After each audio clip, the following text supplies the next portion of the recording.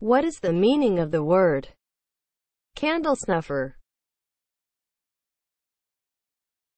As a noun, an implement with a small cup at the end of a handle, used to extinguish the flame of a candle.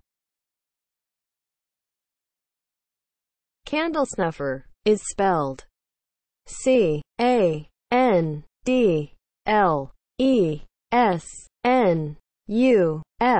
F E R. Candle snuffer